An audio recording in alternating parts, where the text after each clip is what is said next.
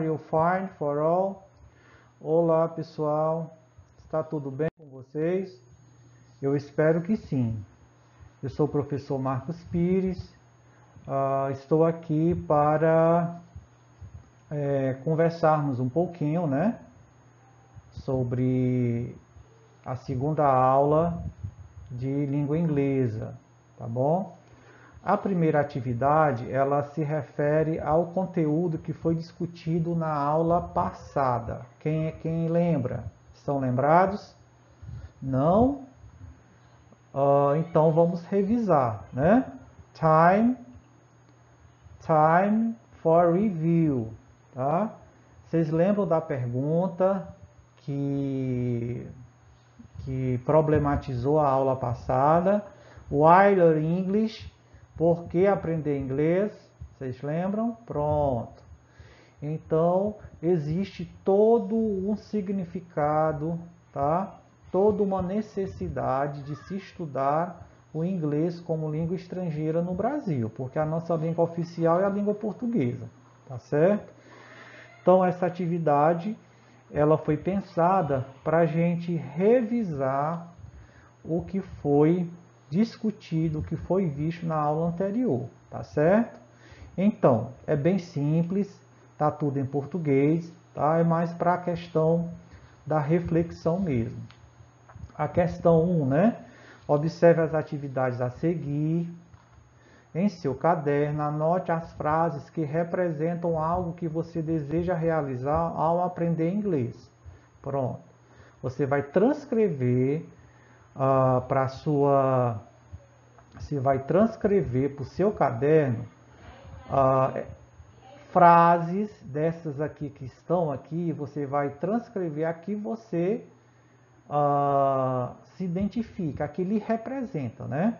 Aquela que lhe representa. Por exemplo, letra A, conhecer e falar com pessoas de outros países. Então, se você quer aprender inglês para conhecer e falar com pessoas de, outro, de outros países, você transcreve essa frase para o seu caderno. E assim sucessivamente. Ok? Very easy, student. Muito fácil aluno. A segunda questão é parecida com a questão anterior, né? Sabendo que aqui no Brasil estamos em um contexto de uso de inglês como língua estrangeira. Com quem você desejaria interagir em inglês? Aqui no, aqui no Brasil mesmo, tá? Uh, nós temos aqui na nossa região um grande potencial turístico, né? Praia de Jericoacoara é logo ali, vem gente do mundo inteiro, então a oportunidade não falta para a gente praticar o nosso inglês, né? E aqui também você vai retirar, ah, dentre essas questões aqui, a que lhe representa, tá? Por exemplo, letra A, norte-americanos e britânicos que visitam o Brasil, se você deseja interagir em inglês com, com turistas, você transcreve para o seu caderno. Tá? E assim sucessivamente. Tá certo? Já a questão 3, questão 3, com que outras pessoas você gostaria de interagir? Então aqui você vai colocar outras situações, né? Por exemplo, colegas de sala, uh, professor, é, seus pais, e assim sucessivamente, ok? To be go on. Bom, no PET de vocês, volume 2, lá tem uma seção voltada para vocabulário, tá? Vocabulário, aprender novas palavras em inglês, tá certo? Assim como a pronúncia dessas palavras. Quero lembrar vocês que a minha pronúncia não é uma pronúncia, é, vamos dizer assim, uma pronúncia 100% fiel. Não é uma pronúncia original. A minha pronúncia é aproximada. Eu não falo como o nativo fala. Assim como os nativos, por exemplo, Tem americanos que falam muito bem o português, mas tem palavras que eles não conseguem pronunciar direito, né? Lembra do, do, do da padaria, né? Eu quero dois pau, né? E por aí vai, tá bom? Então, o que foi que eu trouxe para a gente aprender, né? Que, que, que texto eu trouxe e que palavras contém esse texto para enriquecer o nosso vocabulário. Então vocês podem ver aqui o título do texto, American, American Dialects, que aqui nós temos duas palavras cognatas, tá? Que são aquelas palavras que parecem com o português, aqui americanos e aqui dialetos, tá? Ao contrário, né? Dialetos americanos, ok? E o texto trata justamente disso. Mas, professor, o que é dialeto, né? O que é dialeto? Então, dialeto é uma variante linguística que é falada em determinado local de um país, em determinada região de um país, tá certo? Por exemplo, na língua portuguesa existem muitas variantes do português, que são chamadas de dialetos também. Por exemplo, no Ceará, no Ceará existe o dialeto cearês, que são palavras que só são ditas aqui no Ceará, tá? Que é a marca registrada do cearense, tá? Arriégua, pai d'égua, barroada, serená, é, cabra da peste, e por aí vai, tá? Ah, lá na Bahia eles usam muito oxente, em Pernambuco é o vice, tá? Ah, e, e assim sucessivamente. Se você observar, cada estado tem a sua forma própria de falar, tá? Isso é ruim? Não, muito pelo contrário. Isso é um fenômeno natural que acontece em todos os idiomas. Não é diferente no espanhol, não é diferente no italiano, no francês, no inglês, como a gente vai ver agora, e muito menos no português. Isso vem a enriquecer a língua, lembrando que quem faz a língua são os falantes. Tá? E a língua ela vai passando por mudanças constantes. Por quê? Porque as pessoas vão criando novas palavras, e por aí essas palavras vão, vão sendo incorporadas ao idioma e as mudanças ocorrem de forma natural. Tá certo? Então isso é muito importante uh, a percepção disso, ok? Existe uma ciência chamada linguística que ela explica isso muito bem. Então o texto aqui ele é pequeno, ele fala dos dialetos dentro do, do inglês lá nos Estados Unidos, tá? Dialetos regionais e sociais. Eu vou fazer a leitura em inglês para vocês ouvirem, né? A pronúncia, tá bom? E depois eu vou falar um pouco mais do texto, que é para vocês compreenderem melhor, porque existe uma atividade já preparada com, com base nesse texto, ok? Let's listen. Vamos ouvir. American dialects. All speakers of American English speak a dialect of American English. Few people speak pure standard American English.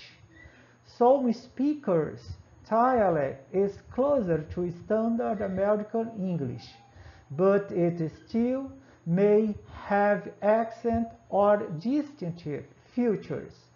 In addition, many people control more than one dialect is the result of schooling, working, relocation, etc. American English includes both regional and social dialects. The map at the top of the page highlights a few of the United States regional dialects, Northern, Southern, Midland, Western. This large regional dialect also includes smaller dialect regions within them. For example, New York City is its own dialect area within the northern region. Além do texto aqui não verbal, aliás, perdão, além do texto verbal, nós temos aqui do lado uma tirinha que também representa os falares em cada região. Cada quadradozinho desse representa uma, uh, um falar tá? regional. Refrigerante, ó, você pode ver que é, eles chamam uh, diferentemente em cada região. Região soda, uh, soda pop, né? pop soda. Uh, em outra região só soda, só pop. Em outra região coke e por aí vai. Tá? Então isso é o que torna uma língua rica, uma língua dinâmica, uma língua viva, tá certo? São os falares, né? Os dialetos, tá certo? E o que diz o texto, né? O texto fala que os falantes, né, do inglês falam, todos os falantes do inglês americano falam dialetos do inglês americano, tá? Todos os falantes, sem exceção, tá? Falam dialetos dentro do inglês americano, tá? Muitas pessoas, né? Uh, muitas pessoas poucas pessoas falam o inglês padrão, tá? Poucas pessoas falam inglês padrão, ok? E aí diz que alguns falantes uh, do inglês, né? Do inglês americano, uh, é, pensam, né? Pensam na pronúncia uh, futuras, tá certo?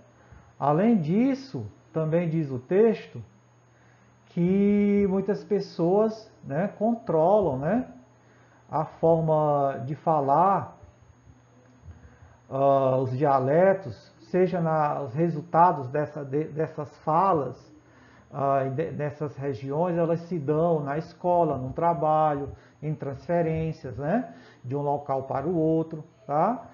E que uh, o inglês americano inclui dois, dois dialetos, né? Dois tipos de dialetos, tanto regional quanto social, tá? Está bem, bem claro aqui nesse ponto, né? Quando ele diz aqui, American English includes both regional and social dialects. Então é isso o que diz aqui, né? Que lá é, existem do inglês americano, inclui né, dois tipos, né, tanto regional quanto social. Tá? E aqui também fala que a questão lá é tão, tão forte né, na questão dessa variante que em algumas cidades, dentro de algumas cidades, em alguns bairros, existem uh, dialetos. Por exemplo, Nova York, né? Lá tem bairros que as pessoas têm a forma de falar. Né?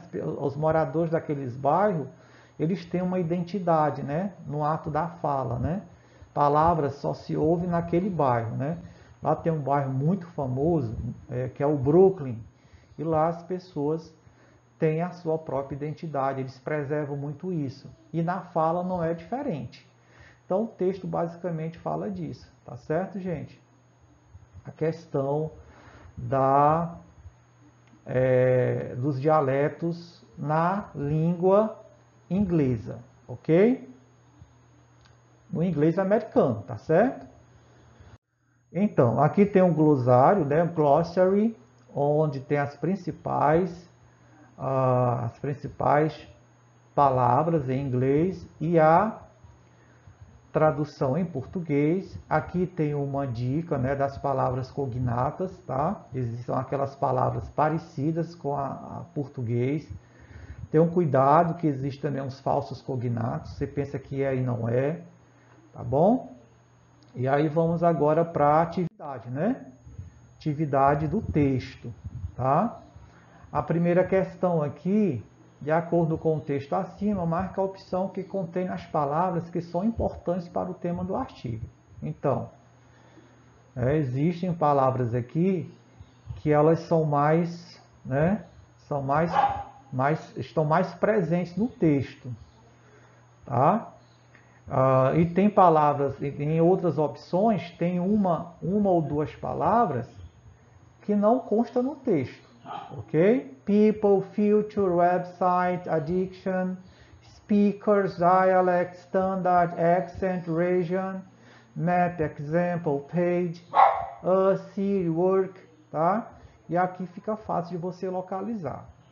Na segunda questão, ainda segundo o texto, podemos concluir que, na letra A, grande parte das pessoas nos Estados Unidos falam inglês padrão. Uh, eu falei isso no texto. Se vocês tiverem prestado atenção, vocês vão poder comparar agora essa questão. Na letra B, o inglês americano inclui dialetos regionais e sociais. Eu também falei isso no texto, tá bom? Então essa questão também está muito fácil.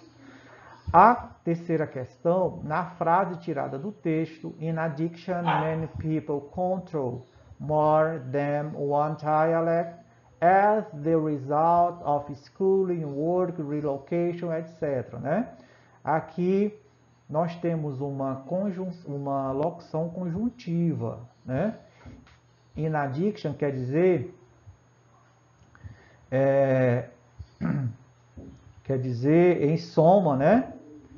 Ah, além disso, aliás, né, muitas pessoas controlam né, a forma, do, o resultado dos dialetos, seja na questão por nível de escolaridade, por trabalho, transferência e tudo mais. Tá? E aí a expressão em destaque expressa continuidade, adição, consequência ou finalidade. E aqui você vai ver direitinho né, o que é que essa, uh, essa expressão aqui, ela tá, qual é o sentido dela no texto, tá bom? E temos essas outras questões aqui. A questão 4, analisando a frase American English includes both regional and social dialects poderíamos dizê-la de forma diferente, mantendo o mesmo sentido. Marca a opção correta. Pronto. Aqui, inglês americano uh, inclui duas formas né, de dialetos, a social e a regional. Não é isso? Então, American English includes regional and social dialects. American English includes either regional or social dialects. Tá? Aqui, uh, um cuidado que essa palavrinha aqui, ela, tá? Essa palavrinha aqui, ela pode uh, distorcer o sentido uh, da, da questão, tá bom? Uh, na questão 5, ainda de acordo com o texto, the map at the top to the page highlights a few of the United States regional dialects, Northern, Southern, Midland, Western. Uh, o significado do verbo to highlight é contradizer, destacar, resumir, iluminar. Então, lá no glossário, lá já, eu já coloquei o significado desse verbo aqui. Então, tá de graça, tá bom? Tá de graça que é essa questão. E a questão 6, retire do texto todas as palavras cognatas. Então você vai lá para o texto e vai retirar todas aquelas palavras que se parecem com o português e vai transcrever para o seu caderno. Ok, class? You understand? Vocês entenderam? Então vamos parar por aqui, vamos ficar por aqui, tá bom? Espero ter ajudado uh, na compreensão desse, dessas atividades. Dúvidas, procure o seu professor de inglês da sua escola, tá bom? Uh, e até a próxima aula. Bye, bye.